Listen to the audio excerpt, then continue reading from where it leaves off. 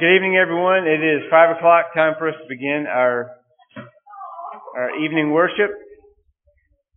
For those worshiping with us online, things might be off just a little bit. Uh, we adjusted the camera angle to try to get some of the of the screen beside me here. Uh, Brother Stan's got a lesson that's going to incorporate some PowerPoint slides. So I want to say thank you all for coming uh, coming back this evening. Uh, if this is your first time with us today, thank you for, for being here with us uh, in person. If you're visiting, please fill out a visitor's card and give it to one of the men, and we will make sure we have a record of your attendance. If you have a cell phone, please make sure you turn that to silent. And we will begin our worship with a prayer. Merciful Father in heaven, we humbly approach you again today, asking for your forgiveness of our sins, for the times that we stumbled, the times that we fail to put our trust and our faith in you. Father, we pray that you will please help us to be stronger and help us to do what we can to, to please you with our lives. We thank you, Father, so much for the opportunity that we have to, to gather here to worship you, the opportunity we have to come before your throne and beg for, for forgiveness and for things that we may do that are not in accordance with your will. We thank you so much for Jesus. We thank you for our hope of eternal life. And we pray, Father, that you will please continue to watch over us and that you will help us to always be mindful of, of what we should do to be pleasing to you. Heavenly Father, we pray that the things said and done here this hour will strengthen us all and that, that you will be glorified in our actions. We pray, Father, you will please be with the congregation as we strive to make a, an impact in this area, to, to bring those who are seeking you into the fold. We pray that you will please bless those same efforts uh, as we work with missions around the world. Heavenly Father, we pray now that we will focus fully on worshiping you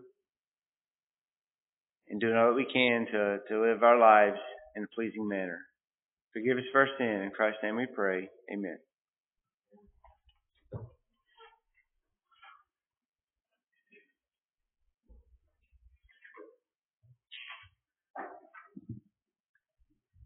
Good evening. The first song this evening is going to be number 577. For those online, we're using the Songs of the Church. And number 577, there's a royal banner.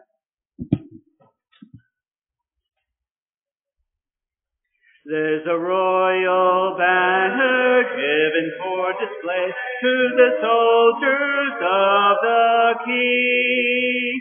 As an ensign bear we lift it up today, while its ransom ones we see. Marching on, marching on, for Christ counts everything but loss. For the King of Kings, toil and sing, neath the banner of the cross. Over land and sea, wherever men may dwell, make the glorious tidings known of the crimson banner. Now the story tells, one shall claim his own. Marching on, marching on, for Christ counts everything but loss. For the King of Kings, toil and sing, the banner of the cross. When the great commander from the vaulted sky sounds the resurrection day, then before the saints and foes shall die, and the saints shall march away, marching on,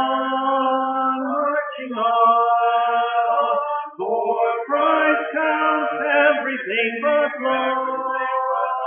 For the King of Kings, oil and seasoning, the banner of the cross. Our next song before the scripture is number 318. 318. And the title of that is Live for Jesus, for those of you online. 318. Live for Jesus, oh my brother, his disciple ever be. Render not to any other what alone the Lord should see. Live for Jesus, live for Jesus, give him all thou hast to give. On the cross the world's Redeemer gave his life that thou might live. Live for Jesus, wandering sinner, under Satan serve no more. Of the promise Christ a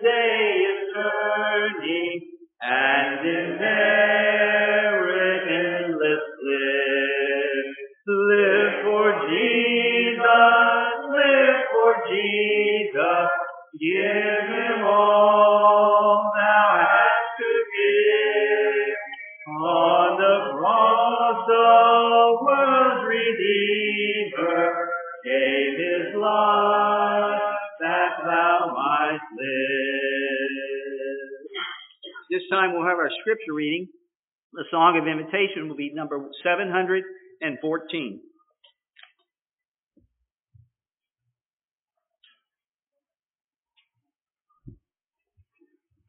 Good evening. Our scripture reading for tonight is from the book of Psalms. Psalm chapter 60 verse 4. Psalm chapter 60 verse 4. You have given a banner to those who fear you, that it may be displayed because of the truth.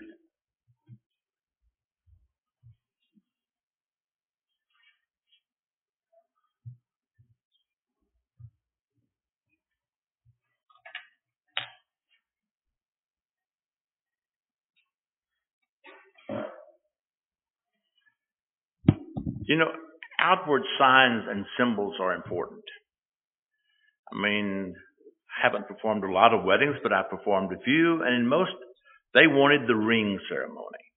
They wanted to exchange those rings that were going to be the outward symbol to all who see it of the affiliation, the love, the affection, the allegiance that the couple has to one another.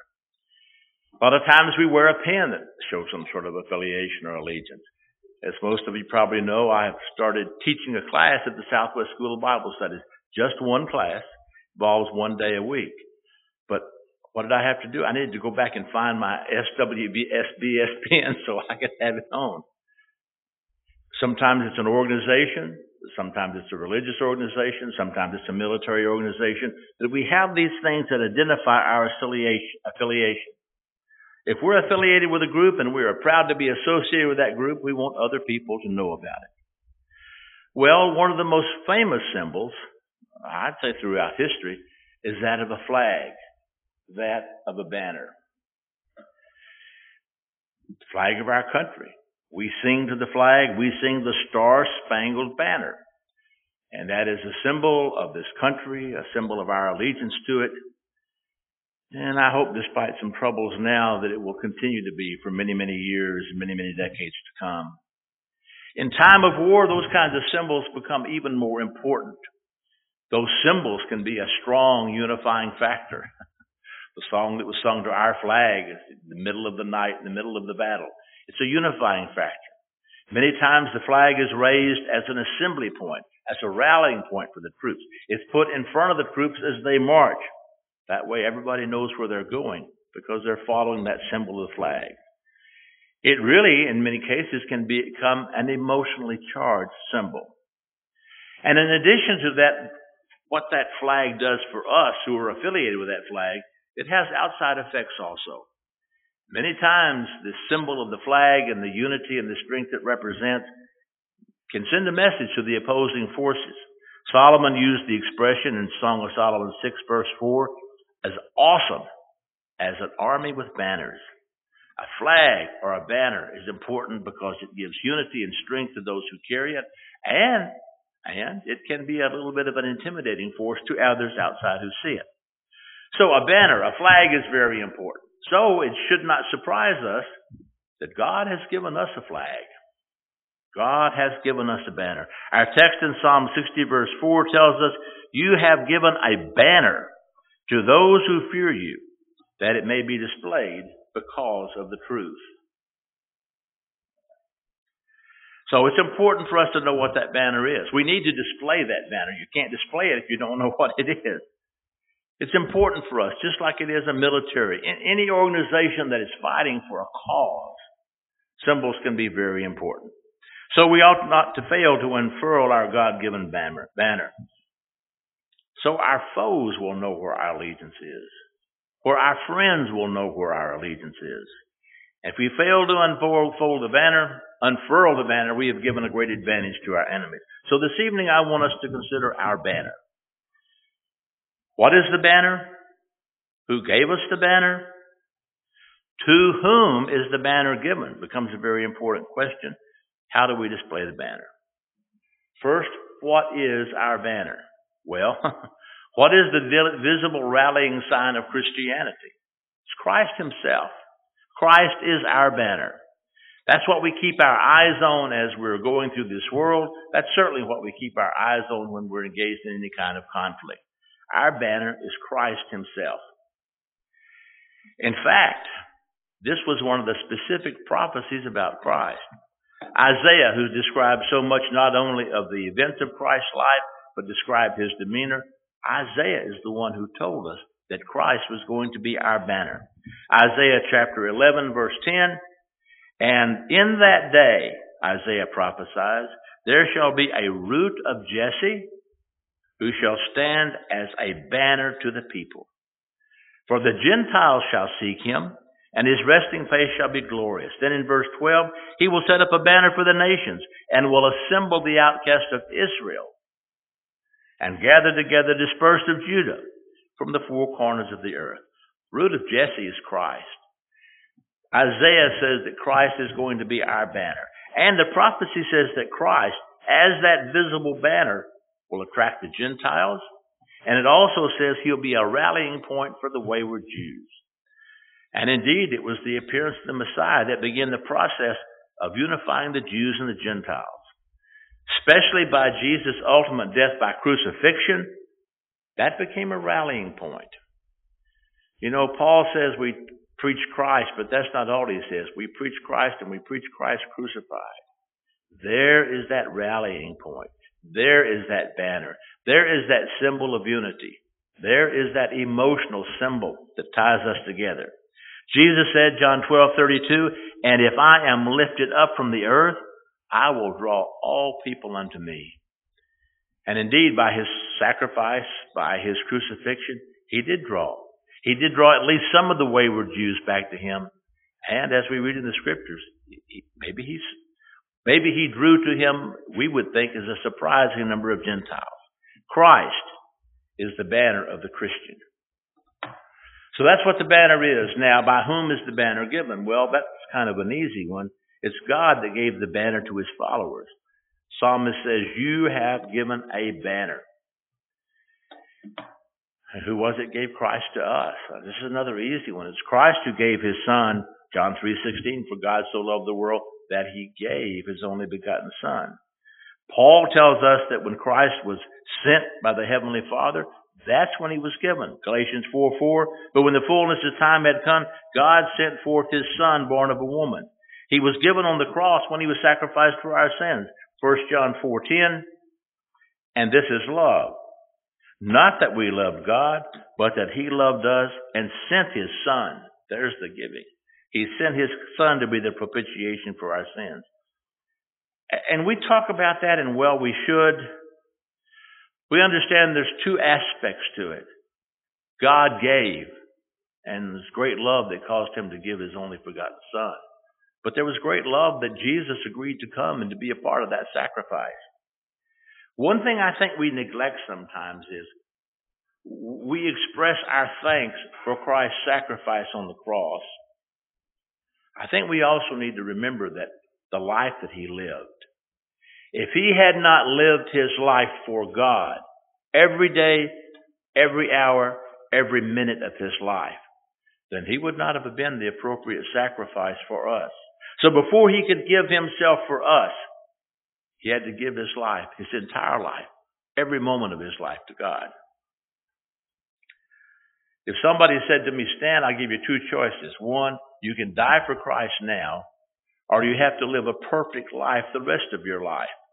I think I'd have to take the die now because I just wouldn't have confidence in me to live the perfect life the rest of the life. We need to love and appreciate God, the Father, and the Son. This is love, not that we love God. He loved us and He sent His Son for our sins. So indeed, the banner of Christ that we have was provided by the Heavenly Father. Almost a tricky question here. Now, to whom is the banner given? Our text says in Psalm 60, the banner was given to those who fear God. In every era, God has had a following. He has had those who rejected the principles and the attractions of the world and chose to abide by the principles that God set forth. People in every era have reached the conclusion that Solomon did, fear God and keep his commandments, for this is the whole of the whole duty of man. And there's no doubt that when Christ, there's no doubt that when Christ came, his gift was intended to be for all people. God showed that principle so clearly to, to Peter at the house of Cornelius. After the things that occurred there, uh, Peter appropriately concluded, in a truth I perceive that God shows no partiality, but in every nation, whoever fears him and works righteousness is accepted by him. So all men and women today are invited to be a follower of Christ. They're invited to have an affiliation with that banner. But only those who fear God will raise up that banner. The unbelievers will not do it. The disobedient should not do it. What hypocrisy it is to claim an affiliation and an allegiance to Jesus, but really reject Him as our Lord by not obeying Him. So there is, there is some discernment here it really is only the fearful, only those who fear God that will raise up the banner in any kind of useful way. Only in the hands of the faithful followers does the unfurling of the banner bring glory to the banner. So we need to lift up the banner. How do we do it? How do we lift up that banner? Well, our, our text says, You have given a banner to those who fear you that it may be dis- displayed because of the truth. God has given us that banner to display it because of the truth. It is our pursuit of the truth that causes us to have that affiliation with Jesus, have that allegiance to God. It is our pursuit of, the, of His cause that gives us that association with the banner. But how do we display the banner? Well, I guess it can be done a lot of different ways. I'll suggest three to you. One is it can be displayed by word of mouth. That's what Philip did, Acts 8.35. Then Philip opened his mouth, beginning at this scripture, and preached Jesus to him. And we remind ourselves that, that Philip was not some special full-time evangelist. He was like those who sit in the pews. And the past few years you have seen me in the pulpit, but for many, many years before that, I was in the pews. I still think of myself as one of the ones that's in the pews. The ones in the pews need to be willing to spread the word about Jesus. Philip opened his mouth. Philip was not a full-time evangelist. He was one of those who were scattered from Jerusalem, Acts 8 4, who went everywhere preaching the word. One commentator placed it this way, uh, put it this way. He says, one of the greatest tragedies that has come upon the church today is the tragedy of the closed mouth.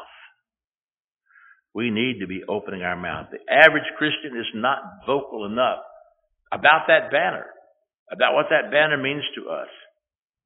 Psalm 107 verse 2, let the redeemed of the Lord say so. Do we say so? Where do we say so? When do we say so? How do we say so? Too many in the pew, one person expressed it this way. Too many in the pews have left the talking to those in the pulpit. You don't want to leave all the talking about Christ to those in the pulpit. And it occurred to me, it's not lost on me, that we have a wonderful opportunity here in a couple of months to talk about Christ as our banner and to talk about the Bible and talk about lessons about the Bible. Hopefully we are starting already planting the seeds in some of those that we know, some of those who know us about the lectureship. I love the lectureship time of the year. It's a time that I can invite people to come to services without having to invite them to listen to me preach. So makes it a little easier for come. There are a lot of good speakers. And you know, the history has been that the speakers have been excellent. And the past few years, I've been the guy who reads all the manuscripts. These manuscripts are excellent. I don't know whether you have searched for information in the in the of uh, the Denton Church lectureships and searched for information in other commentaries. What we have put out here is as good as any that's available. Commentaries written only by members of the Lord's church. And maybe I can offer the plug. This year the subject is Job, and the lectures, the presentations will be on Job. But we've also completed that one last book, that one book that's going to contain Numbers and Deuteronomy. It's already at the printers. They've said it will be here in October. That's well before November, we hope. So as of this year, the whole series is completed. Starting in 1982 up in Denton, Texas ending in 2021 in Schertz, Texas. Commentary on every book of the Bible written only by members of the Lord's church. What a treasure. What a treasure that is. But the book of Job, I think it's a great book for inviting other people. Maybe especially after the past couple of years. Maybe we've been kind of set up for this, you know? There are a lot of people who have had unusual difficulties in their lives. And many people one of the things they know about the Bible is the man Job, the difficulties he suffered. Maybe, maybe, just maybe, if you ask just right, you could interest some people in coming to listen to those. So, let us not be part of the closed mouth crowd, especially when we have something so good to open our mouth about. Another way we can uh, lift up the banner, not besides word of mouth, is our manner of life. To the Ephesians, Paul said, I beseech you to walk worthy of the calling with which you were called. That's interesting, the word calling. It's almost like a vocation. Our Christianity is not something we dabble in on Sunday. Our Christianity is a part of the way we conduct our life. Even more so than the secular jobs that we have. That is our constant way of living our lives. Uh, Paul admonished Oh, okay. There's Ephesians 4 1. Beseech you to walk worthy of the calling to which you were called. Philippians 1:27. Only let your manner of life be worthy, be worthy of the gospel of Christ. Faithful Christians. Those who live under the constant influence of the gospel. They're going to be different. They're going to be distinctive in their speech. They're going to be distinctive in their habits. They're going to be distinctive in their disposition. Many years ago, it wasn't a preacher, it was an elder who was taught a lesson on the sins of the disposition. And I thought, sins of the disposition? What's all that about? the more he talked and the more I learned, the more I decided he he's exactly right. Many times the distinctiveness of those who are followers of Christ is their disposition. They're kinder, they're gentler, they're more loving, they're more tolerant, they're more forgiving. If we're not doing that, then we're failing to be distinctive. And I tell you, in this time, a person who is tolerant and forgiving is going to be pretty distinctive. There is a lot of frustration and impatience in the world. So, we are supposed to be, 2 Corinthians 6.17, we're supposed to be called out, we're supposed to be different. One of the ways that we can be different is by our speech, by our actions, and yea, verily, by our dispositions.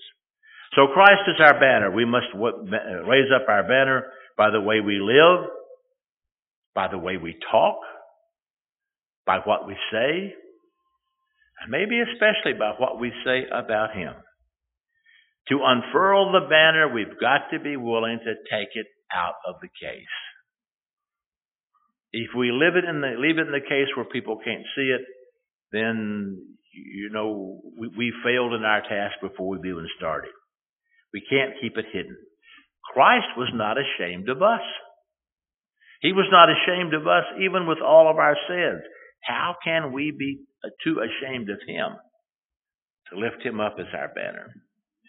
Raise Him up in our lives to those around us. So we must never be ashamed of the one who was never ashamed of us. I don't know if we ever stopped to count the ways, the legitimate reasons he would have been that had to be ashamed of us.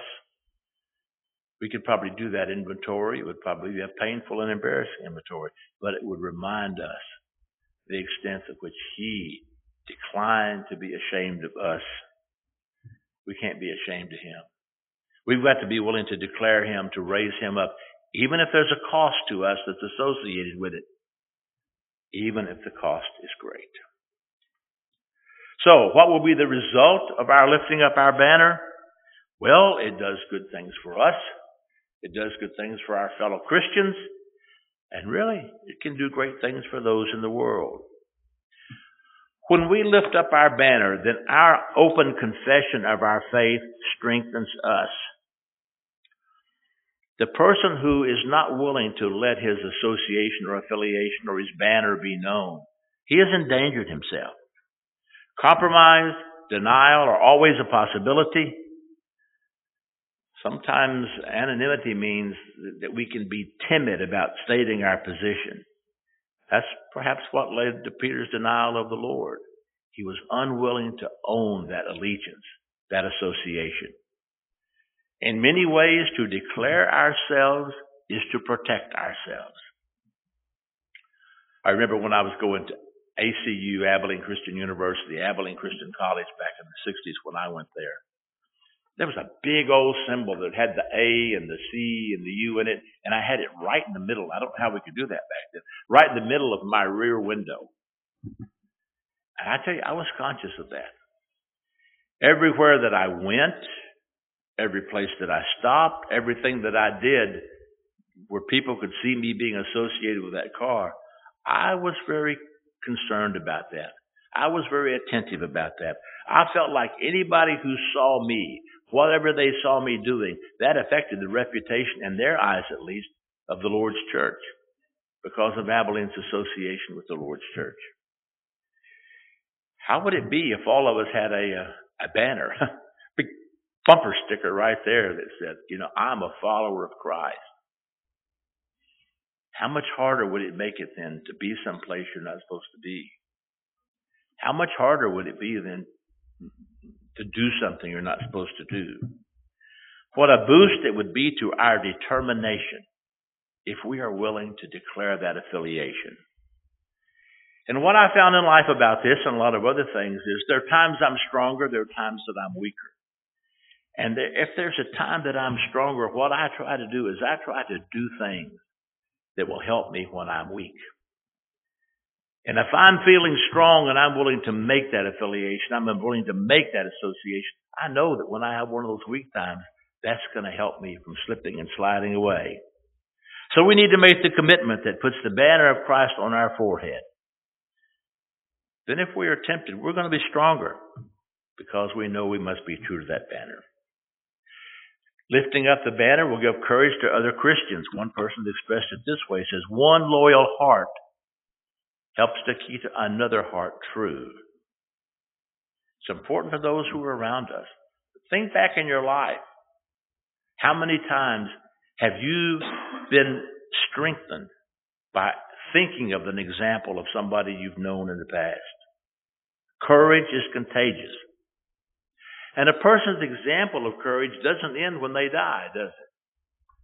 If you can remember people who've been in situations and they've been courageous, that will stand you in good stead all of your life. But that contagion is possible. We can have that contagious, that courageous, contagious effect on other people only if we are willing to take that banner out and to unfurl it and let people see it. If we unfurl it with pride and confidence and courage, if we'll do that in front of our fellow Christians, we will strengthen them. And finally, an open declaration of our faith will help give to the world what it needs. Sometimes I think we wonder how much of an influence are we really having on the world? Well, we're having the kind of influence that God intended for us to have. He didn't say form an army and go off and conquer the world. Live your life according to the biblical principles.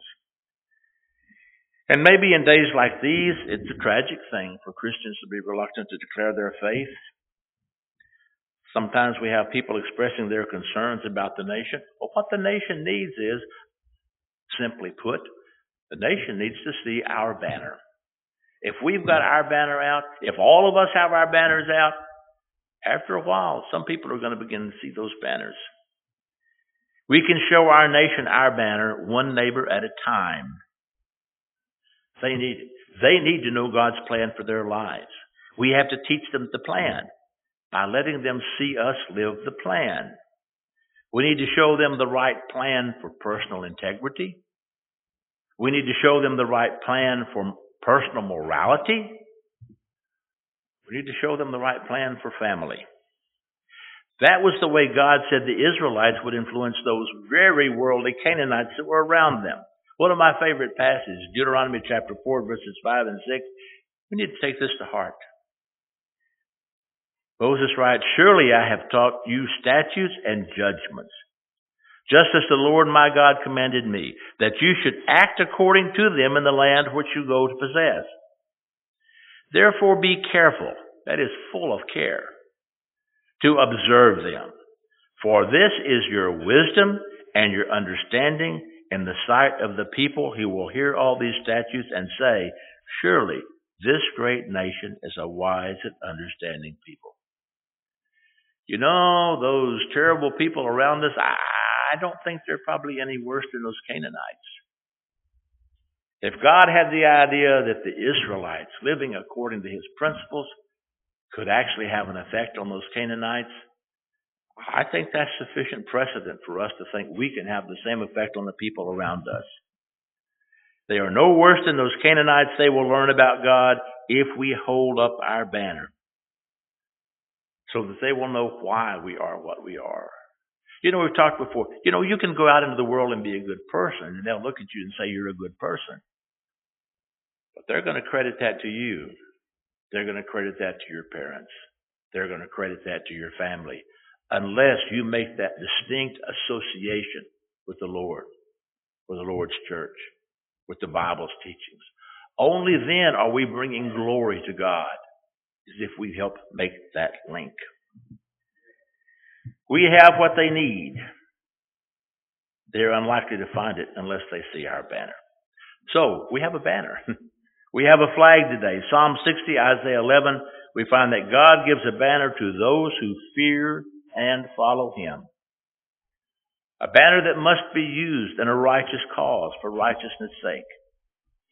We learn what that banner is. The ultimate banner is Jesus Christ. We have a banner. We must display that banner to strengthen ourselves, to strengthen those around us. Show our banner to the world. They may not read the book, but they can see the movie one scene at a time in our lives. This evening, have you been displaying your banner? I know most here have made the commitment to be a follower of the Lord. That's how you pick up the banner. You become a follower of Christ. You believe and you confess and you repent and you're baptized. But I think what we need to do is kind of be more conscious of that banner. You know, God is the great communicator. We think sometimes about the parables of Jesus, but those parables of Jesus are not even the beginning of all of the wonderful image teaching that God gives us in the Bible. One of those images is a flag. One of those images is a banner. Maybe we should think of our lives day by day, hour by hour. Are we holding up the banner? Are we letting it dip? Are we letting it fall? Are we putting it back in the case? Are we hiding it? If we do that, we need to repent of that. We need to be determined to do better than that in the future. So this evening, we all have banners. If we can help one another with their banner, we should do that. If there's some way we can help you with your banner tonight, we would be glad for you to come forward as we sing.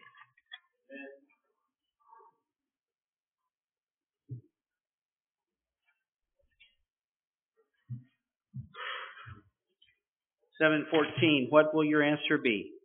Someday you'll stand at the bar on high. Someday your record you'll see. Someday you'll answer the question of why. What will your answer be? What will it be? What will it be? Where will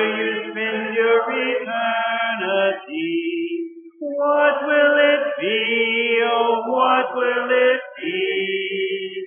What will your answer be?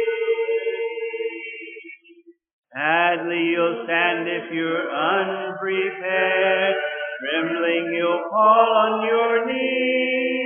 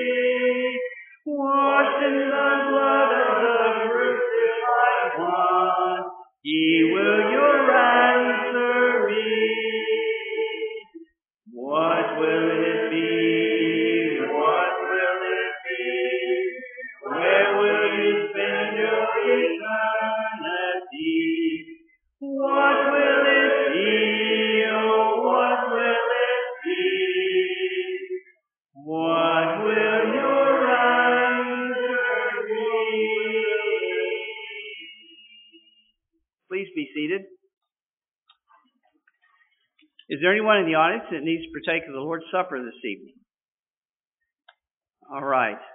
Let's sing number 167 before the Lord's Supper.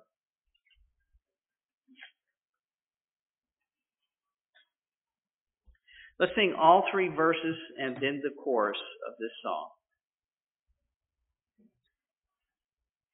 Why did the Savior and come to earth below, where men His grace would not receive, because He loved me so? Why did the Savior mark the way and why did temptation know?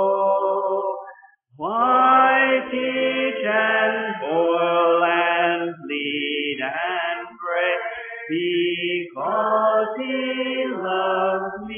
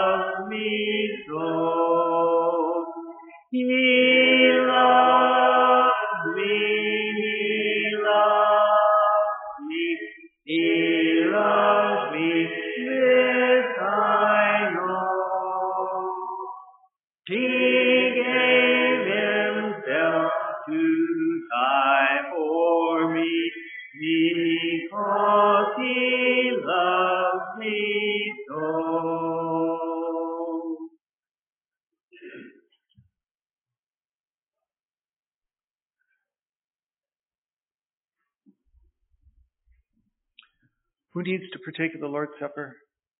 Oh, did you get the? You got. It. Okay, great. In uh, Luke chapter 22, we read of Luke's account of the Lord's Supper, Jesus instituting the Lord's Supper. We read in Luke chapter 22, verses 19 and 20, the emblems that he set apart, set aside, to represent his death on the cross. And he took bread and gave thanks, and brake, and gave unto them, saying, This is my body which is given for you. This do in remembrance of me. Likewise also the cup after supper, saying, This cup is the New Testament in my blood, which is shed for you. The bread represents his body. The fruit of the vine rep- represents the blood that he shed on the cross. As we partake of the Lord's Supper on the first day of every week, we remember his death. And this is something that some in the world would say, doesn't that get old and boring and, and meaningless after a while? Only if you don't respect the Word of God. But if you respect God and His Word, and if you love Christ for what He did for us, this will never get old. This will be, this is a remembrance of His death and a reminder to ourselves that His precious blood, the Son of God, cleanses us of our sins. And so as we partake of the Lord's Supper, let's remember these things. Let's give thanks for the bread. Our Father in heaven, thank you so very much for what Jesus did for us. Father, help us to never forget, never take for granted the great thing that He did to take the sins of the world upon Himself and bury them, and with His blood, He cleanses us of our sins.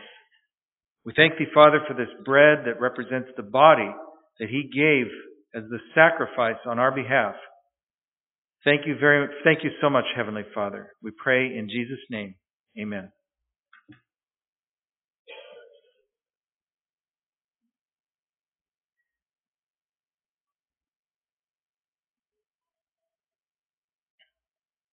And let's also give thanks for the fruit of the vine.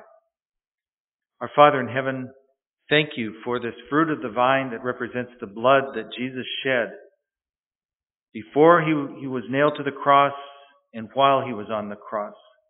The blood that he shed, Father, was his precious blood. That blood is what was necessary to wash away our sins. We thank thee, Heavenly Father, for his great, mighty, and wonderful sacrifice so that we, through him, might have the hope of eternal life. Thank you, Father, for this fruit of the vine. We pray in Jesus' name. Amen.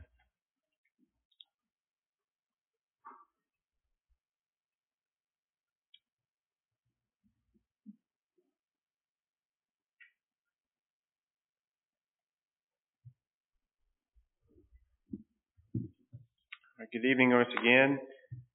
If anyone had planned on uh, making a contribution, uh, there will be a plate on the table in the foyer. Moving on to our announcements. As we mentioned this morning, uh, uh, Garl was fighting a kidney stone. It looks like he showed that kidney stone to his boss. He's here with us tonight, so glad to have you back. All right. Ralph and Jennifer Wernley were here with us this morning. Um, his sister is in, in the area down here, Alva Lott, um, and she is approaching the end of her days um, with a serious heart condition, so they're down here spending time with her. And also uh, Linda Blanchard's granddaughter, Talina. Um, it was announced that she's got advanced cervical cancer, uh, and she's she's 37, has three kids. She's trying homeopathic treatment, uh, and she needs our prayers. Also, uh, Linda came forward and asked uh, that she would have uh, ask for our prayers, a, a strength for her to be a good example for them. We have uh, the Monday night uh, ladies class on Zoom that will meet tomorrow night at 7 p.m. So please uh, participate in that if you're able. And also on September 14th at 10 a.m., the ladies, uh, the Tuesday ladies class will resume. So that would uh, two good opportunities for Bible studies there. Uh, there's a sign up list on the youth bulletin board for volunteers to host youth events in the coming months. Um, and as was mentioned earlier, if you, uh, if, even if you don't have children uh, in the youth group, uh, would be uh, greatly appreciated if you could sign up and host the event. And uh, Scott will make sure that uh, there's somebody arranged to do the, the devotional just appreciate the congregation reaching out and, and uh, showing support for the youth group. We're also collecting supplies for the uh, Hurricane Ida relief effort through a, uh, a, a church affiliated group called Christian Disaster Relief. Um, they are uh, organizing supplies and uh, gift cards, money, different things like that to help with the devastation that, that took place in, in Louisiana when the, the hurricane rolled through here not too long ago. So the uh, there are two bins underneath the uh, basically where the youth bulletin board is outside the the secretary's office. So put your supplies in there, or if you'd uh, rather uh, give uh, the money to uh, to to the congregation, uh, make sure that uh, just if it's a check put the disaster relief uh, info in the memo and uh, give it to, to in your in the contribution plate or directly to Kim here tonight, and we'll make sure it gets to the right place. The next men's breakfast will be on October 9th at uh, 8 a.m. at Garcia's, so please make sure you have that on your calendar. And this will be one that's open up to everybody, uh, all the men who are who would like to come and participate. We also uh, made the announcement this morning that uh, as the lectureship is rapidly approaching, the need for housing is uh, is there. We're modifying the forms to say if you cannot host somebody uh, in your house due to COVID or, or, other concerns uh, with with that, but you would like to still help out, um, there's an opportunity to maybe to provide some funds that would allow speakers to be put up in a hotel. So please still grab one of those sheets and, and fill that out and put what you're able to do to support on that sheet. We're trying to do that as, as Stan is organizing both who's coming and needs housing requests and who's available or who will be able to provide support here locally. So we're trying to get all that organized within the next few weeks so we can have a better picture of what's going on. And also, as I mentioned uh, this, this, morning, uh, the names that were presented to to the elders for consideration for future elders uh, were, were, Stan Crowley, uh, uh, Stan Stockton, and Garl Latham.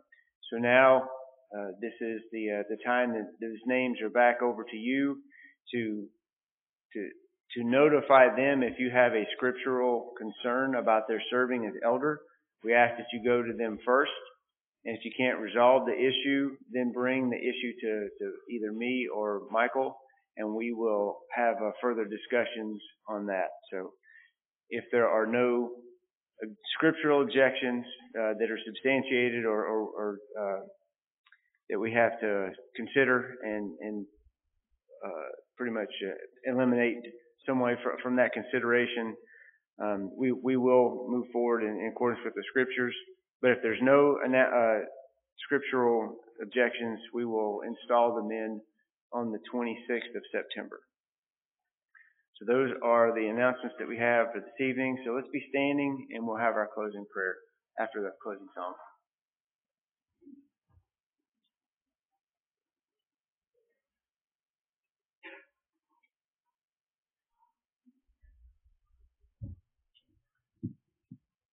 Our closing song is number 479. For those online, the title is Sowing the Seed of the Kingdom. and after the singing of the song, we'll have our closing prayer by Brother Steve Springer.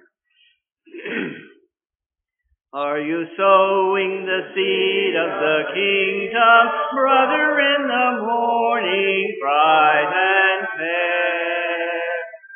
Are you sowing the seed of the kingdom, brother, in the heat of the noonday glare? For the harvest time is coming on, and the reaper's work will soon be done.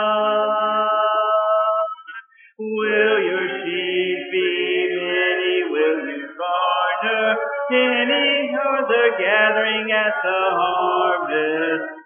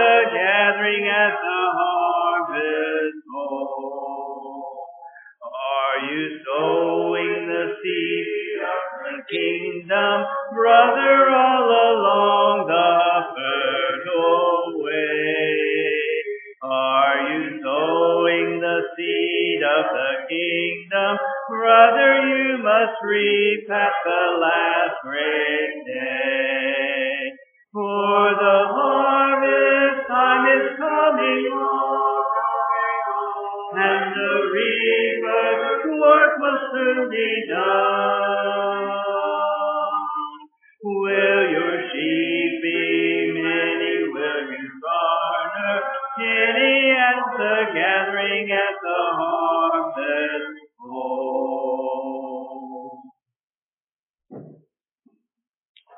in heaven, we come to thee as we close this service, asking thee to be with us this week, for we know that you are only so far away as our prayers. We thank thee, our Heavenly Father, for this day, the beautiful day that you provided us. We thank thee for all the other blessings that we have that we often overlook. For we know that we go through life sometimes overlooking things that are obvious, but we need your help at all times. And we ask you to be with us. We know our country suffered a great loss 20 years ago, and we are still dealing with issues that are very difficult for all of us. We ask you to be with us, help us and guide us. And our Heavenly Father, we ask thee to bless the leaders of the lands in question, that things may be right and the people will follow your direction. Again, our Heavenly Father, we ask Thee to forgive us of our many sins, for we know that we stumble, we say things we should not say, we do things we should not do. We ask Thee to be with us and forgive us of our sins and bring us back at the next time. Christ's holy name we pray all of these things. Amen.